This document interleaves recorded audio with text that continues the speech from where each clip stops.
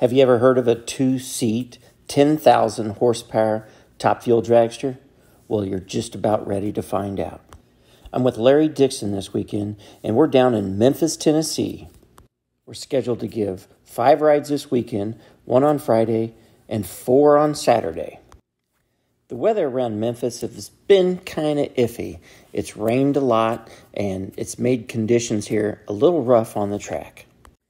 We're going to do the best we can with what we got to work with. Now, I want to show you what happens every time that we travel with this car.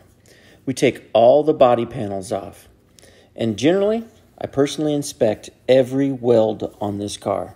Right here, I'm taking a can of brake clean and I'm spraying every weld, watching to see if there's any kind of cracking going on. I do both sides of the car, then I come back and I come back with an anti-rust agent that I spray back all over the whole frame rail. And then we'll assemble that body back on this thing. You know, it's not like this thing doesn't get checked out at the shop, but in the travel, you never know what's going to happen. So we always, always inspect our chassis the first day when we show up at a racetrack. So they finish assembling the car, and in the meantime, I'm going to take a look at the weather.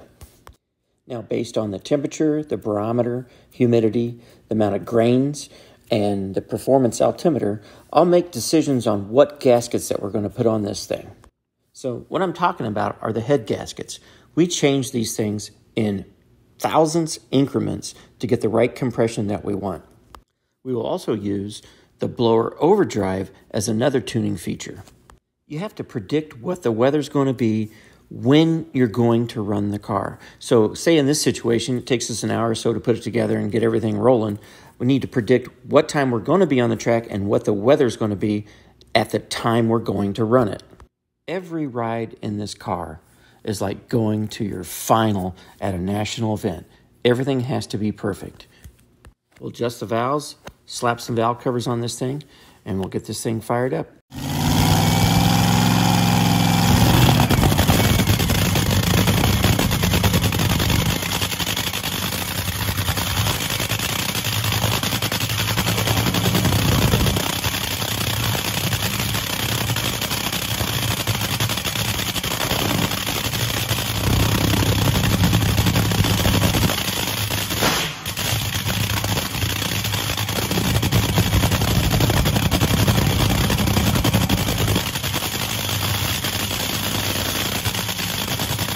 During the warm-up, Larry likes to seat the clutch and give that extra experience to his rider. We also cycle the system and go through all the different components that operate the clutch, the timing, and we'll recheck all that stuff on the computer.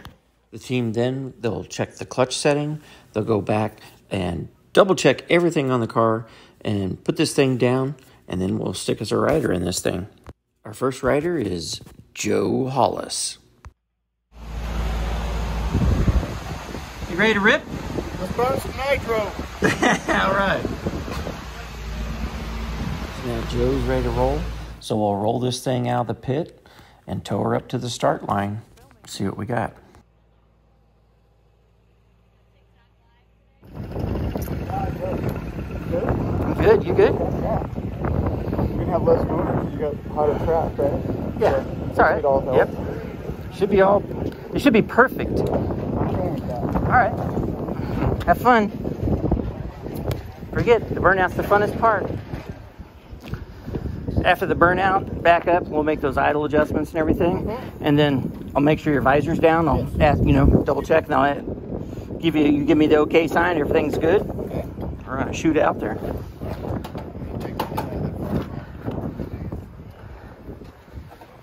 As much as you prepare one of these cars for an experience that people have put a lot of money down to happen, it, it still makes you so nervous because these things sometimes have a mind of their own. Now, this is what we're dealing with here.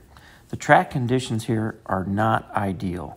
We've got a lot of peeling behind the starting line here, and you have to remember this car is four foot longer than any car out there.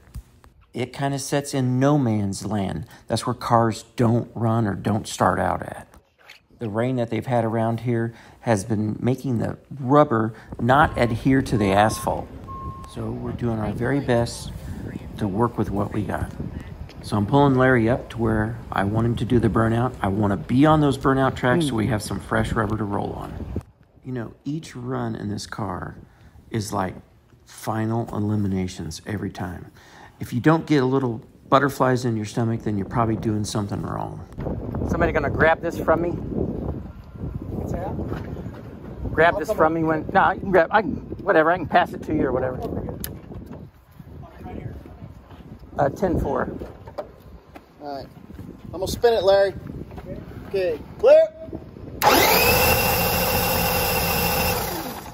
So after clearing the motor, oh Chris here, he hooks up the blower luber.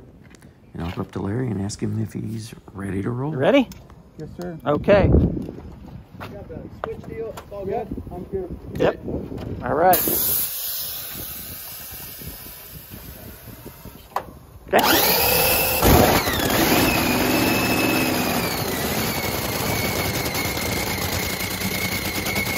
Got this thing started, I immediately noticed that we had a little smoke coming out of number seven.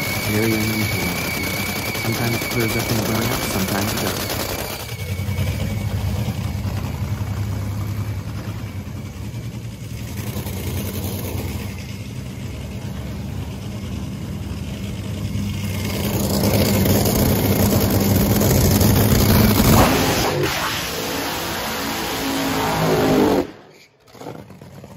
Burnout lands pretty close to where I want. You know, there's a very fine line here within six inches or so where I needed to put this thing, but it actually looks pretty decent.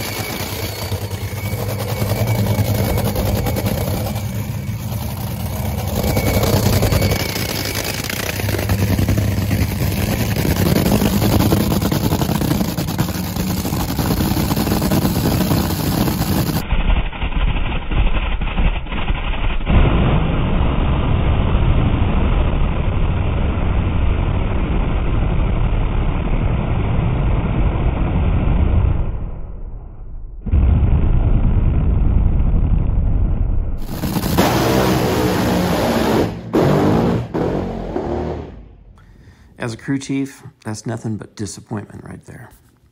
This thing needs eight cylinders to make everything right, not lot. seven.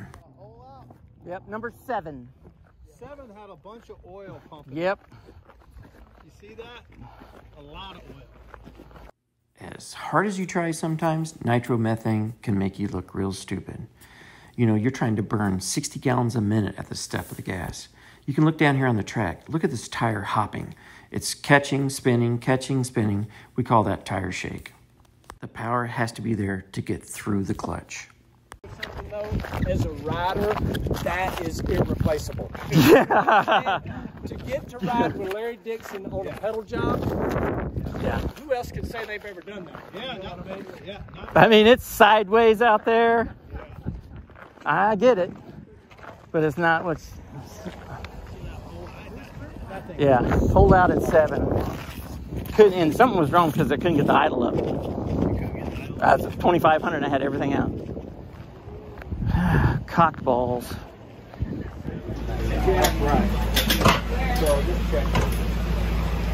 Well, that was the shake. Guys, I felt it. it- just- there's no words for this. Really? Yeah, there, there's nothing to describe it. Well, that wasn't the best ride, but that's the wildest ride. Well, the motor's still together. Oh yeah. yeah. Something happened to number seven, man. It's on seven cylinders. Is that what caused it? Yeah. So we'll get it figured out and we'll get this puppy back together. Oh, I'm ready to go again. He's not. He, I told him, you're not gonna get an argument from me about going again. So the team's doing their best to get this thing turned around as fast as we can. We definitely got some weather coming in. We also have some issues. Broke a rock on him where? Who? Yeah, right there.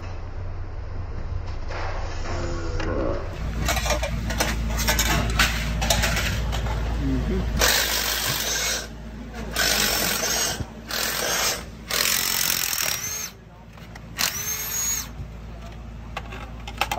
you got the top, right? Yes, Two? it's right here. It's still on the crank. Okay, gotcha.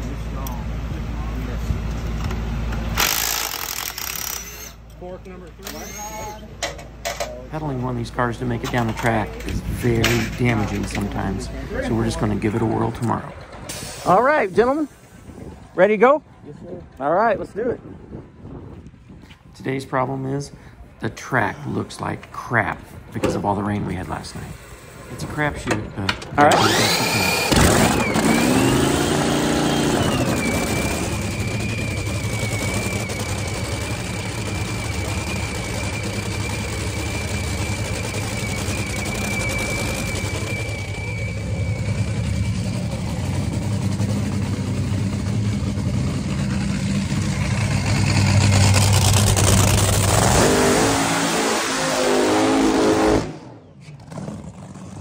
Starting line kind of looks worse than what I thought. Also, when Larry did the burnout, the car drifted to the left. So we're going to have to try and straddle these tracks and get him in the track when he gets back.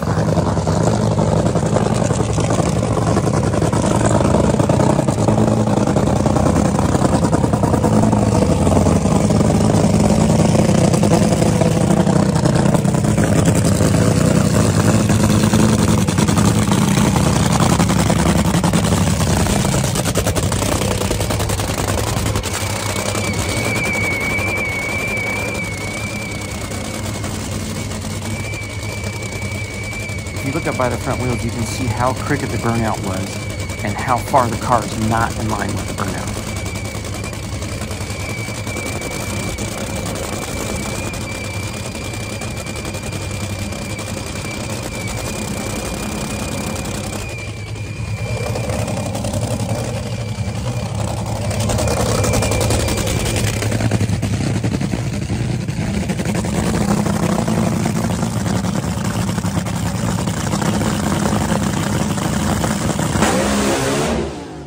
just ripped the rubber right off the track. When a motor freewheels like that from spinning the tires, it's really hard on the valve train. You can look here, it broke a retainer on the intake. We're lucky it just didn't blow the whole motor up. We're going to give these riders another chance. We're going to go to a track that we know we're going to have good conditions, that they're going to get a full pull, and they're going to get their money's worth. This is a tough job. It's a tough ownership to have one of these things. There's not another one in the world like this. And there are no books out there telling you how to tune a two seat top fuel dragster. So everyone was in agreement to do it at a later time. So just cut our losses and head home. You know, they always say there's light at the end of the rainbow, and hopefully this was a good sign for us on our next outing. We landed back here in Indy, you know, with our tails between our legs. Kind of got ourselves beat up a little bit by this track, but I guarantee you this we'll be back out there, and these guys are going to have the ride of their lives, and I'll be glad to help them do that.